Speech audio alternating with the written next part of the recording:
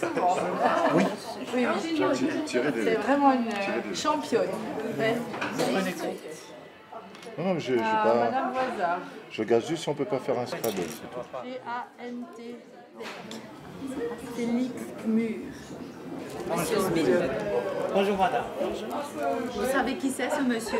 Non, C'est notre évêque de Bâle, le père évêque Félix Gmur, avec des collaborateurs. Oui, euh, des, des C'est Saint-Gilles. On descend. Bonjour madame. C'est Gloria. Gloria. Oh, voilà, super. euh, non, merveilleux. Merci. Voilà. Ok. Sur, c'est c'est quelle, bon, quelle option? C'est pour le commerce. Ça vous Ouais, on essaie aussi. C'est merveilleux. Bonjour madame. Bonjour madame. Bonjour madame. Bonjour madame. Monseigneur l'évêque. C'est une sœur hospitalière, la sœur Dominique. Jean-Marie. Super. Bonjour, Excellence, Monseigneur. Vicaire général, tu vas bien? Je vais très bien, je vous remercie. Oui, alors ça c'est bien. Oui, il y en avait trois, elle est décédée il y a une semaine, la troisième, Oui. à 96 ans. La sœur Odile. Qui réclame sous, donc t'as un soleil qui tape aux vitres. euh, Vous avez pas deux minutes? Ça va, allez, on va vite. On va vite Voilà. promener un coup d'heure. Vous êtes très très très sympa. Voilà, bonne fête. De même, merci beaucoup. C'est votre visite. Au revoir.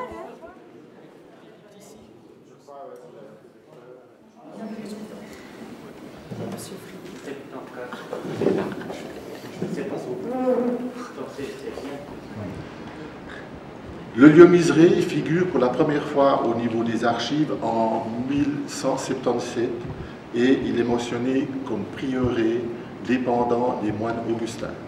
Malheureusement, lors de la Révolution française, le prieuré et ses terres, et surtout ses terres, ont été vendus aux plus offrants. En 1931, un changement important, Miseré se transforme en institution pour accueillir les personnes âgées et les infirmes. Le home a été repris par la République et canton du Jura, qui en, est, qui en a la possession et qui assume la gestion actuellement.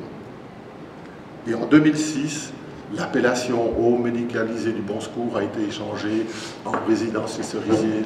C'est mieux. Le futur, parce que le futur qui est proche, 1er janvier 2017, donc presque demain, la résidence et cerisier quittera le giron de l'État jurassien pour devenir une institution dépendante d'une fondation de droit privé mais d'utilité publique.